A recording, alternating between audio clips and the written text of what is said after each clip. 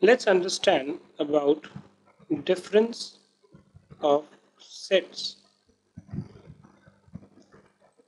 You've always used to subtract two numbers. Let's say you had to subtract 8 from 6 sorry 6 from 8 you know it is 2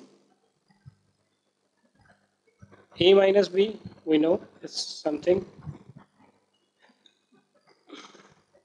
Similarly if you were given any two sets let's say a is equal to a b c d e f and b is equal to a e i o u.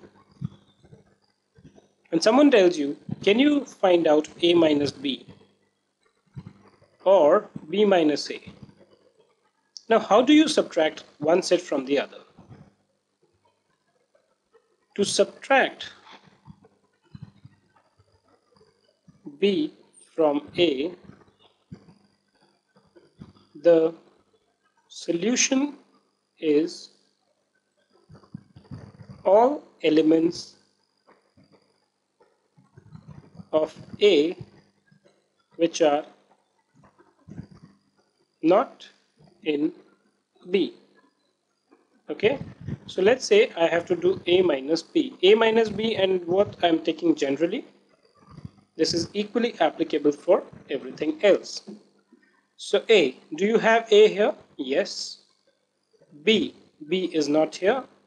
So then B comes here. C, again C is not here. D, D is not here. E, E we know is here, it will not come. F, so A minus B will be equal to B, C, D, F. So all those elements of A which are not in B are forming part of this solution. How about B minus A? Now generally, you know, in these kinds of calculation we knew whichever is the larger one you subtract the smaller one from this.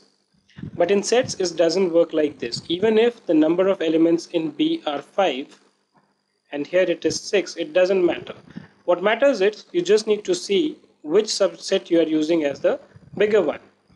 So you see what are the elements of B which are not in A. So A we know it is there, E we know it is there, I of course it's not there, O, U.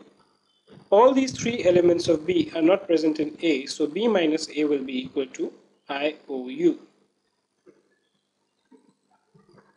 So that's how you do the subtraction of sets. Okay. Now graphically, if suppose you had these two sets A and B. So A minus B is basically what? Elements of A which are not in B. Elements of A which are in B is this common area.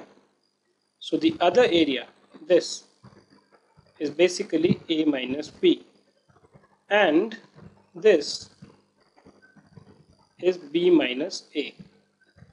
So this red portion comprises of elements of b which are not in a. This comprises of elements of a which are not in b and the common area is what is left out.